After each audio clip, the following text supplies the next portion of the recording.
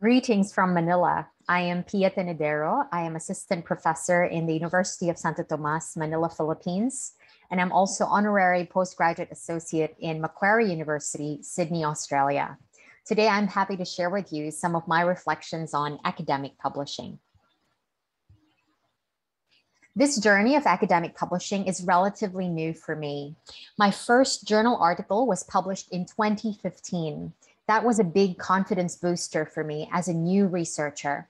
My mentor and co author said, Publishing can be very addicting. And she was right. I couldn't wait to publish more. Getting published for me validated my ability as a researcher. The next three years, I managed to publish five more research articles, mostly co authored ones. Well, this early experience motivated me to do my PhD to get more serious training in research, mentored by an expert in sociolinguistics.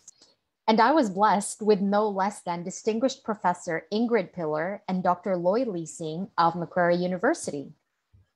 One of my first lessons was research blogging.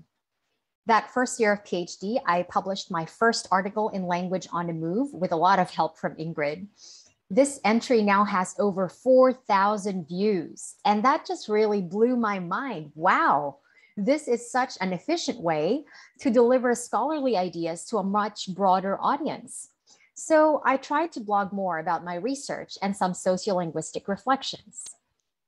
And now that I've completed my PhD, I hope to spread the message of my work as widely as possible before it gets stale. I've started doing that with a few lectures and workshops, but I'm also hoping for a monograph and a couple of journal articles. This year, I was also made an editorial associate for the Asian Journal of English Language Studies. This is an international, peer reviewed, open access, non predatory journal created by the UST English Department. Anyone can download the published articles in the journal's website, and we don't charge the authors for this.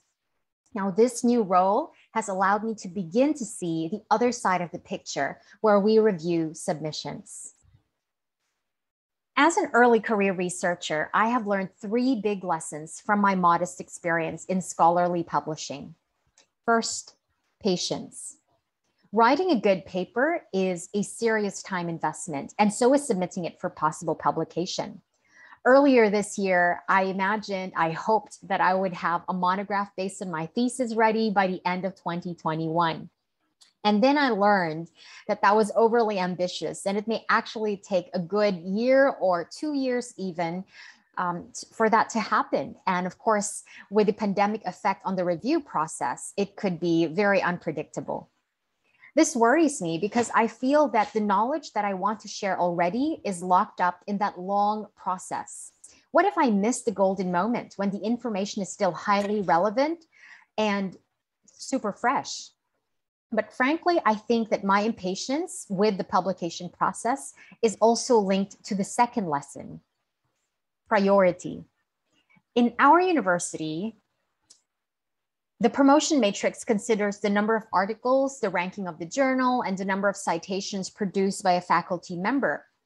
These criteria are very quantitative and they really push faculty to prioritize publishing in journals. Yesterday, Professor Yongyan mentioned the unusually high volumes of article submissions in the past years. Maybe it's because of the pandemic, but I think maybe it's also because of the intensifying publication pressure. And of course, this affects quality. Sometimes in reading for my own research, I encounter published articles with very distracting grammatical inaccuracies. And I wonder, how does this kind of quality make the cut? The priority should be quality over quantity, right? In some rare cases, of course, quantity and quality can be achieved together. A particular colleague comes to mind. He is a relatively new PhD, but already he has managed to publish 15 articles in Q1 journals in just two years. His post about this enviable accomplishment said, Achievement unlocked. That's an expression that originated in computer games, but is now used in the context of academic publishing. And it's quite fitting, I think, because it captures how publishing has become highly competitive and subject to gaming.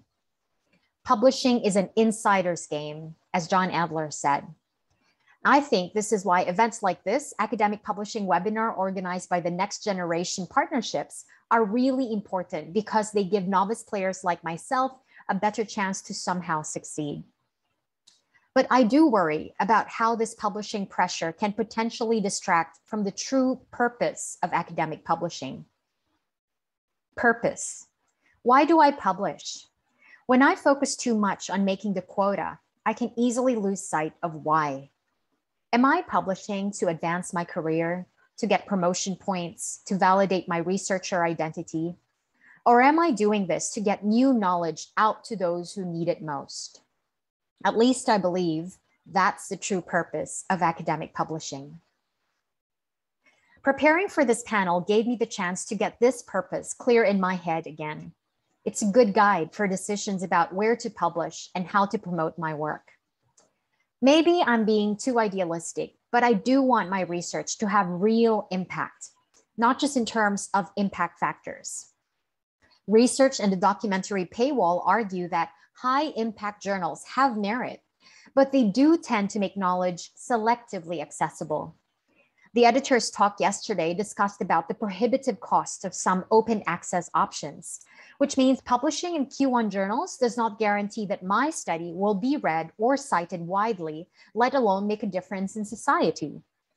So I am bothered by this obsession with the impact number and the privileging of journal publications. I keep thinking that it is partly to blame for making research more stressful than gainful, for motivating predatory journals to take advantage of researchers who just want a quick chance at having their work published, even for a price for disadvantaging smaller journals because those who can write quality research, of course, they want to target the Q1s. And for discouraging new researchers, especially from the global south. The latest statistics from UNESCO show that in Germany, there are 5,000 plus researchers for every million people. In Australia, there are 4,500 plus for every million. In China, there are 1,300 plus for every million in the population. Meanwhile, in the Philippines, there are only about 100 researchers for every million. Why are there so few? Could it be because global research and academic publishing is that much discouraging and prohibitive for novices in the global south?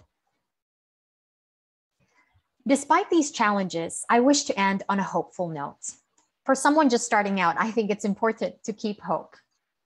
And I hope that high impact journals will not have the monopoly of scholarly communication. I hope the notion of academic publishing will become more inclusive so that journal articles, monographs, as well as research blogs, research based workshops, and lectures will all be given merit in the academic performance matrix.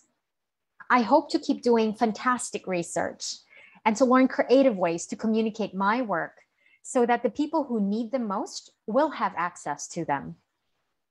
And finally, I hope to hear your thoughts and ideas about these reflections. Thank you so much for listening. Salamat.